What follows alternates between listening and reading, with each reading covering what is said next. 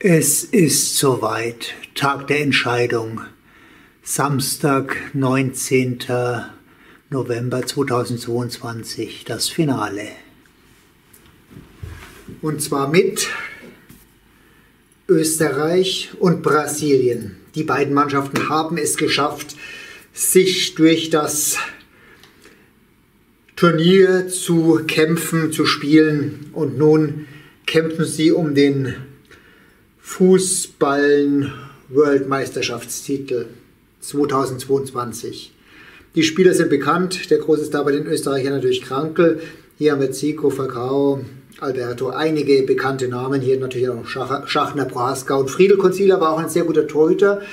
Leao bei Brasilien ja, hatte, glaube ich, nicht so viel zu tun. Aber wir werden sehen, wie sich dieses Finale entwickelt, entwickeln wird. Vorab zeige ich Ihnen aber nochmal Tore von Krankel, Alberto und Zico, die allerdings nicht im Turnier, sondern in Vorbereitungsspielen erzielt wurden. Sie sind aber wunderschön und die möchte ich Ihnen vor diesem Endspiel nicht vorenthalten. So, und nun geht's tatsächlich los. Wer beginnt von den beiden? Schwarz ist oben, schwarz ist Brasilien, die haben Anstoß. So, dann wollen wir jetzt die Zeit stellen. Hoffentlich klappt das alles richtig gut und perfekt. Schauen wir mal. Und der Anpfiff zur, zum Endspiel, der wird Weltmeister. Zico gibt auf Falcao. Falcao hat schon die erste Chance dieses Spiels, schießt und, oh, da, da ist, äh, ja, Tor, Tor, Tor, Tor, Tor durch, durch, wer ist denn das? Rivellino war es, Rivellino war es, ja. Äh, das ging schnell, ein schnelles WM-Tor. Das tut mir ein bisschen leid für die Österreicher, aber Krankel ist vorne. Wird er gleich einen draufsetzen? Aber gehalten. Und hier von hinten kommt Prohaska, der schießt, gehalten. Da war Lea, Lea sehr gut. Ja, ich bin selber überrascht von diesem schnellen Tor. Ich hätte es nicht erwartet. Hm. Ich habe auch wirklich Österreich ein bisschen als Favoriten gesehen. Hier kommt Zico. Ah, abgewehrt. Ja, ja, ich, also die Österreicher sind geschockt, aber ich auch ein wenig, ich sag's ehrlich. Rebellino, der Torschütze, schießt drüber. Anstoß. Jetzt muss Österreich sich fassen und ja, Alberto, Carlos Alberto, Alberto kann klären, er spielt zu Zico. Oh, die Brasilianer sind vielleicht ja souverän, sage ich mal. Zico oh, und, und Friedel Conzila hält. Von hinten äh, Revellino, oh, der hat aber ganz schön verzogen. Ja, Kranke kommt noch nicht so ins Spiel. Normalerweise ist er ja wirklich ein Spieler, der das entscheiden kann. Aber jetzt ist ja nur Brasilien, nur Brasilien am Ball. Und hier Sokrates. Ah, abgewehrt. Ja, jetzt wird es aber langsam Zeit, dass sich äh, Falcao abgewehrt. Oben ist jetzt was. Und jetzt hat sich Kranke den Ball einfach mal geschnappt. Was wird er denn machen? Ah, ja, gar nicht schlecht, gar nicht schlecht. Aber der muss jetzt mal. Puh, Fehler, Fehler von Carlos Alberto. Ist man nicht gewohnt. Und Krankel hat eine gute Chance und ah, er hat nicht durchgezogen. Er hat nicht durchgezogen. Das muss man sagen. Oh, jetzt wird aber, kommt aber nochmal Prohaska. Gut gehalten von Leao. Sehr gut sogar gehalten. Was war denn das? Das wäre ja bei einem Eigentor gewesen. Und Krankel ist hier. Krankel ist da und Carlos Alberto kann einschreiten. Konter über Rivellino. Der spielt Zico in den Lauf und Zico könnte jetzt. Ja, er hat zu schnell geschossen. Das ist Falcao, der sich diesen Ball schnappt und ab. Friedel Konzil hat den Ausgleich geschossen. Schon wieder ein Torwarttor. Unglaublich, unglaublich. Ja, das Spiel ist das schon, hat noch, läuft noch. 1 zu 1. Jetzt wird spannend.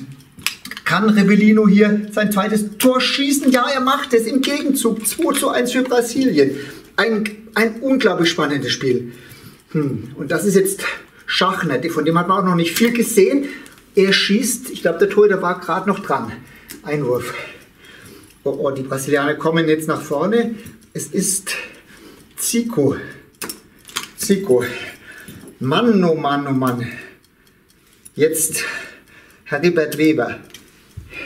Viel Zeit haben die nicht mehr, die, die, die Österreicher. Das ist Krankel. Oh, Schachner von hier drüben, daneben. Das Spiel ist bald zu Ende. Das war natürlich jetzt schlecht einmal. Und hier kommt Carlos Alberto, Handspiel. Freistoß für Prohaska durch, äh, für Österreich. Vielleicht eine der letzten Chancen. Prohaska macht die Ecke selbst. Der Ball wird weggenommen. Und ja, ich glaube, es ist gleich vorbei. Es ist vorbei. Brasilien hat 2 zu 1 gewonnen. Ja, das, so ist es. Krankel kam nicht so ins Spiel, wie, wie man sich das vorgestellt hat. Ja,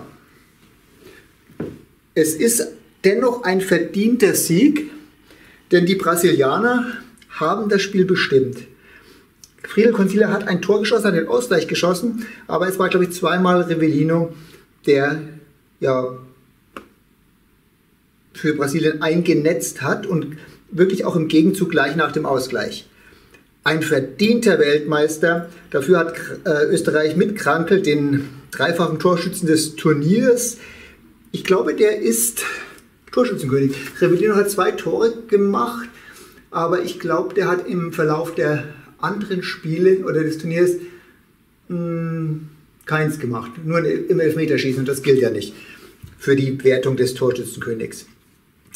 Ja, Brasilien darf jetzt den Titel entgegennehmen. Ja, es ist ja kein überraschender Weltmeister. Das wäre natürlich mit, mit Österreich, mit diesem Team anders gewesen, aber okay. Ich hoffe, das war für die Zuschauer ein interessantes Turnier. Es war bestimmt interessanter als dies, oder das Turnier, das jetzt morgen in, in der Wüste stattfindet, bei dem auch Deutschland mitspielt, die sich ja am Mittwoch mit dem ein, bei dem 1 zu 0 im Oman nicht so ja, mit Ruhm bekleckert haben. Aber ja, wer Tempo Fußball, wer spannenden Fußball sehen will, schaut sich einfach nochmal hier diese Fußballen Worldmeisterschaft 2022 in Untermenzing auf diesem Kanal an. Ich wünsche einen schönen Tag, ein schönes Wochenende noch und ja, Gratulation an Brasilien, aber auch an den zweiten Österreich und an den dritten Untermenzing. Guten Abend.